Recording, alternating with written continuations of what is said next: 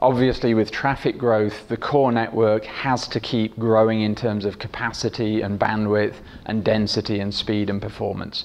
But increasingly, flexibility is more and more important in the core networks.